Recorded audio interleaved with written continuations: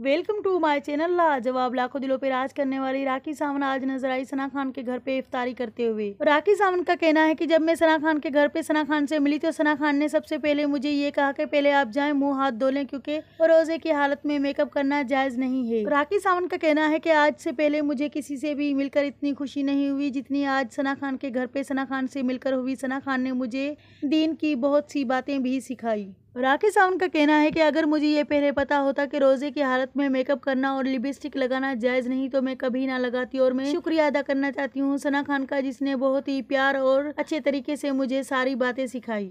राखी सावंत का कहना है कि मैं शुक्रिया अदा करना चाहती हूँ अनस भाई का, जिन्होंने मुझे यकीन दिलाया कि वो बहुत जल्द मुझे उम्र पर भेजेंगे टोटली अपने खर्चे पर। राखी सावंत का कहना है कि आज सना खान की मदर से मिलकर मुझे मेरी मदर याद आ गई। काश आज मेरी मदर ज़िंदा होती तो वो भी सना खान के घर पे मेरे साथ इफ्तारी करती। तो राखी सावंत का सना खान के घर पे इफ्तारी पर आना कैसा लगा? आपको क्या राखी सावंत को रोज़े की हालत में मेकअप करना चाहिए था या नहीं? इस बारे में मुझे नीचे कमेंट सेक्शन में लाजमी बताना। मुझे रहेगा आपके कमेंट्स का इंतज़ार। वीडियो पसंद आए तो वीडियो को लाइक करना, चैनल को सब्सक्राइब करना बिल्कुल भी ना भूल